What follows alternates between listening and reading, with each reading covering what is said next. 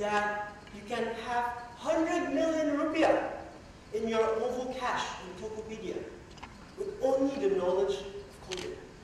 What if I tell you that you can search who is the most beautiful person in the world and your name will come up? What if I tell you that you can alter the internet into what you want it to be? So let me do a quick demonstration.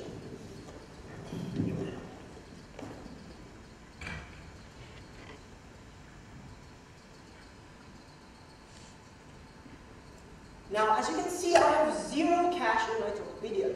Now, let me share a bit of a secret. In Google Chrome, you can right-click, and there's something called Inspect Element. Now, in Inspect Element, sorry, in Inspect Element, you, it gives you the ability to alter one's website, to alter the code of a website, which in this case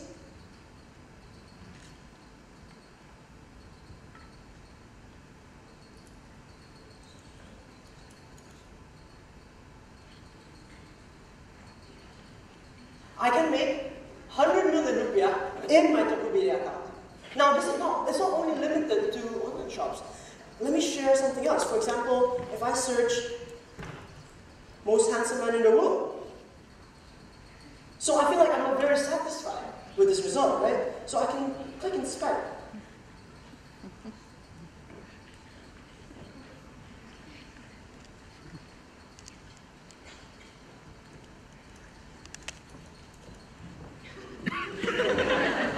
So these are all the things that I can do with a simple knowledge of coding. Now, um, before you report my TED Talk, uh, let me just share that the reality for this to happen is still very far. Meaning that whenever I refresh the page, it resets back to its original value. Now, you might be asking me, right? I have changed the source code of the website, of the application. But why is it that whenever I refresh, it changes back? not to Jason Blum anymore, for example, right? Or I don't get 100 million rupiah anymore in Tokopedia. Now, from this whole speech, I'll explain to you the architecture of a web application. So, and you'll find out why. Now, let me begin by a simple introduction and backstory. I've been amazed by technology since a really young age. Around 8 to 9 years old, I was so amazed by technology that I used to collect these things known as brochures. Now, these are not the normal brochures you collect, but these are specifically gadget-related brochures. Now, back then, long back, there was, when I walked by the mall, there was Apple store, Samsung store, BlackBerry store. It used to be a big thing back then. I used to collect the leaflets or the brochures about their latest products. And I didn't really understand them, but I used to collect them and I loved reading them. So I didn't realize until now that that was the beginning of the moment when I started asking myself, when I started inquiring, what is a RAM? How is, what is the iPhone screen made of? And these simple things that help me develop my passion for technology today. Now, speaking of questions and inquiries, I've asked myself this question a few years ago. Some of you probably have asked yourself, but how do applications actually work? What happens when we post the picture on Instagram? What happens when we take that snap and upload it on Snapchat? Right? So as much as coding is all about logic, and, but the thing is it's very difficult to grasp. That is why my topic for today is explaining web apps in a way everyone will understand.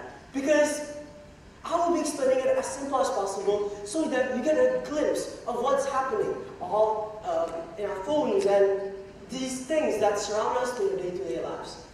So um, before that, when I first told my mom about my topic, right, um, she looked at me in the eye. She said, I mean, I get it. It's always the moms who never understand, right? So, anyways, um, let me get started the point. Every single application has two basic fundamentals, the front end and the back end. Now, I would like you to visualize the human body. We can categorize the human body into two different parts. Firstly, the outer human body and the internal human body, the inner human body. Now, the outer human body is a part of the human body which you can see with your naked eye, the one you can touch, the one you can feel, and yeah, most importantly, you can see and you can interact with. So this is just like the front end of any application. When you open Instagram and you see the buttons, the font, the text, the layout, the color, this all is part of the front end. Now, everything here is a part of front end because I only have access to the code of the front end of Google or Tokopedia and stuff. That is why I only can alter the look of it and not the inside of it. That is why when I refresh the page, it will go back to the original.